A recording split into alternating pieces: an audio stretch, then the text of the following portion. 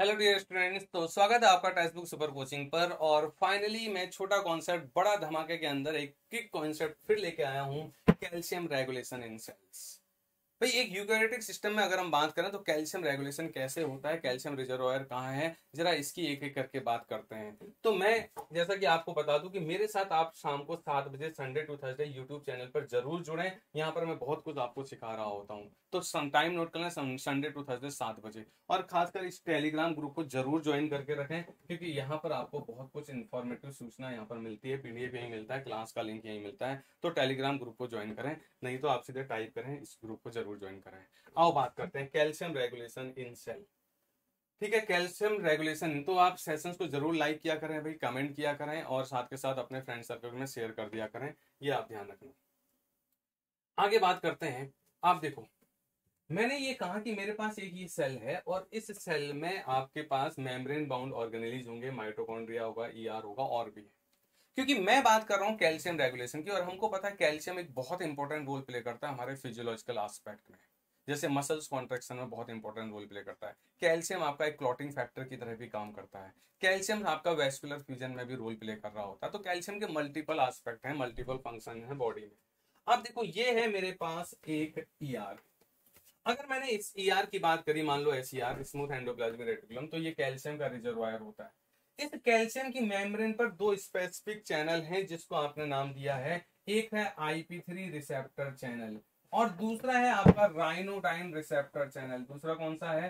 Ryanodine receptor channel ये ER e की membrane पर है। और ये ईआर e की मेम्ब्रेन पर है तो जब ये ओपन होंगे तो ये ईआर के ल्यूमन से कैल्शियम को साइटोसोल में लाने का काम कर रहे हैं। अब आप देखो, कैल्शियम को ईआर के ल्यूमन से साइटोसोल में ला रहा है आईपी थ्री रिसेप्टर चैनल ऐसे ही ये कैल्शियम को ईआर के ल्यूमन से साइटोसोल में ला रहा है राइनोडाइन रिसेप्टर चैनल। तो इनका काम क्लियर हो गया कि ये तो साइटोसोल में कैल्शियम को लेके आएँगे जब ज़रूरत पड़ेगी।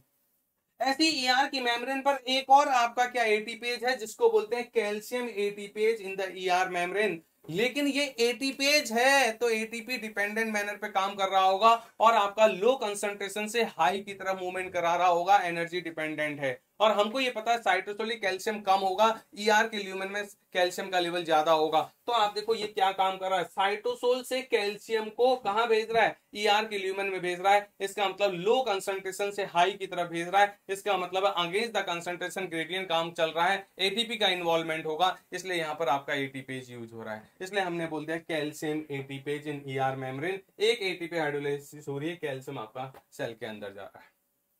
ऐसी अगर मैं सेल में और भी बात करूँ तो माइटोकॉन्ड्रिया भी कैल्शियम का रिजर्वायर है, ये भी ध्यान रखना आप। तो माइटोकॉन्ड्रिया के पास भी यहाँ पर आप देखो कैल्शियम स्टोर हो सकता है। तो अलोंग विद द ईआर अगर आपसे क्वेश्चन पूछा जाए कि और कौन सा ऑर्गेनेल जो कैल्शियम होमोस्टेसिस में रोल प्ले करता है तो आपका आंसर माइटोकॉन्ड्रिया होगा। ऐसे ही फिर मैं अगर एक यूकैरियोटिक सेल को फिर यहाँ पर डिफाइन करूँ तो सेल की मेम्ब्रेन पर भी कुछ स्पेसिफिक आपके चैनल्स हैं या ट्रांसपोर्टर्स हैं, देखो आप। सबसे पहले आप देखो यहाँ पर कैल्शियम के चैनल हैं। कैल्शियम के चैनल्स दिख रहे हैं। आपको कहाँ पर? आप देखो, मैं थोड़ा सा इसको ऊपर कर रहा हूँ। ये ये कैल्शियम के चैनल यहाँ पर ई आर की मेम्ब्रेन सॉरी सेल की मेम्ब्रेन पर हैं। और ये कैल्शियम को हाई कैल्शियम सेल के बाहर ज़्यादा होगा तो कैल्शियम को बाहर से सेल के अंदर लाएँगे एज पर द नीड ऐसी ई आर की, ये सेल की मेम्ब्रेन पर यहाँ पर आप देखो, calcium ATPase in plasma membrane भी होता है। ज़रूरत पड़ने पर ये कैल्शियम को बाहर फेंकने का काम करेंगे। भाई साइटोसोलिक सेल के अंदर कैल्शियम कम होता है। ध्यान रखना सेल के अंदर तो बोल रहा हूँ तो मैं साइटोसोल की वर्ड टर्म यूज़ करूँगा। और अगर मैं ईआर e बोलूँगा तो ईआर e का ल्यूमन बोलूँगा। ईआर e के ल्यूमन में साइटोसोल के कंपैरिजन में कैल्शियम ज़्यादा होगा क्योंकि वो रिजर्वायर है। तो यहाँ पर आप देखो calcium ATPase in plasma membrane भी होता है और ये एटीपी हाइड्रोलिसिस करके कैल्शियम को साइटोसोल से बाहर फेंकने का काम करेगा। सेल की मेम्ब्रेन पर एक एक्सचेंजर भी होता है, जिसको आप बोलते हो सोडियम कैल्शियम एक्सचेंजर, जो क्या कर रहा है, सोडियम को अंदर ला रहा है और बदले में कैल्शियम को क्या कर रहा है, बाहर फेंक रहा है।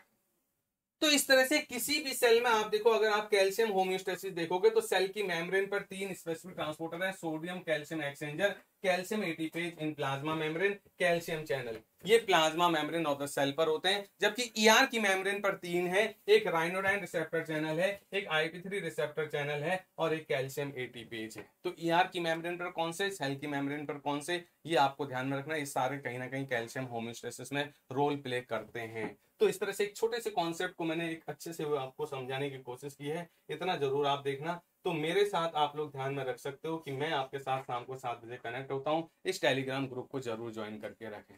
ठीक है? और दिसंबर 2024 के लिए एलिट बैच स्टार्ट हुआ है। ये लाइव बैच है हमारे लिए।